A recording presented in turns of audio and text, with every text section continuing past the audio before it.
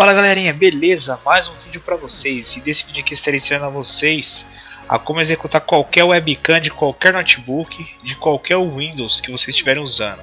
Clica com o botão direito em cima de meu computador, propriedades, vai em gerenciador de dispositivos, procura a opção dispositivos de imagens.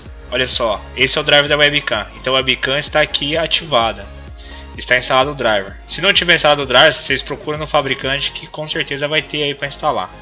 Normalmente depois quando você instala o Windows, ela já vem instalada já com os driverzinhos do Windows aí. Bom, primeiramente a gente vai no download, aonde que a gente baixou ela, ó, ela vem assim, tá? Vamos copiar ela. Vamos jogar em iniciar, computador, disco local C e pode colar ele aqui mesmo, ou qualquer lugar que vocês preferirem, mas tem que ter a pasta dentro do seu computador. Vocês podem renomear, vou deixar aqui mesmo webcam. Lembrando pessoal que isso aqui é um aplicativo executável, tá?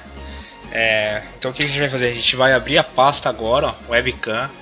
Vamos transferir o atalho para a área de trabalho, enviar para a área de trabalho, criar atalho. Beleza. Vamos alterar o ícone agora.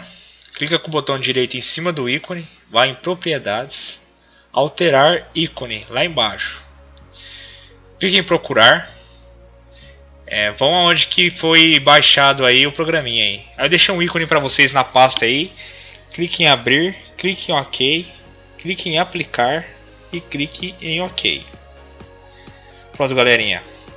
Pode fechar aqui. Vamos executar agora para ver se ela ativa.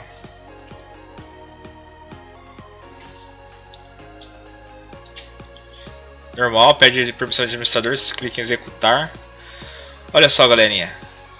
Se a sua webcam estiver instalada aí e vocês não tiverem executável, esse programa aqui ele executa qualquer webcam que tiver no computador de vocês. Galera, esse é o tutorial que eu queria passar para vocês, um tutorial bem bacana mesmo, beleza? Espero que vocês gostem, se inscreve no canal aí que sempre terá novidades para vocês aí.